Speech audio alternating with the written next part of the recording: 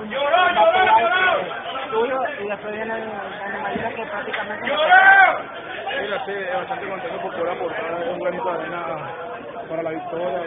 Eh, tremendo equipo. Bueno, fuerte, hay que, hay que venir acá a jugar los fuertes. Gracias a Dios pudimos conseguir la victoria, ahora hay que seguir ganando. Está por la ofensiva, Mira, sí, en el primer juego no pudimos batear, pero hoy gracias a Dios pudimos ejecutar las cosas, pudimos responder en los momentos indicados y gracias a Dios conseguimos la victoria. ¿Cómo difícil fue cambiar el juego de ayer al de hoy cuando se finalizó la madrugada y poder batear el día de hoy?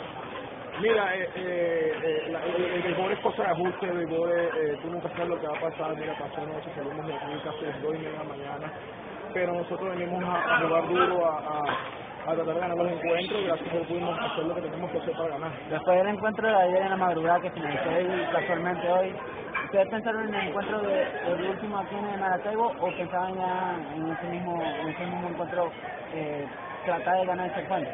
Mira, eh, nosotros venimos aquí a, a dar el 100%, eh, eh, ayer perdimos, pero pero ya eso pasó, nosotros venimos a jugar juego por juego, eh, A por A, INI por INI, y gracias a Dios pudimos conseguir la victoria. Jesús, ¿qué tanto significa haber despertado la ofensiva quizás en el campo donde más se complica esta en el país? Mira, bastante bien, eh, ahora vamos con vamos bastante positivo para Caracas, a un campo donde se batea bastante bien. es difícil batear aquí, pero hoy lo pudimos hacer. Cuatro honrones y ustedes se taparon prácticamente.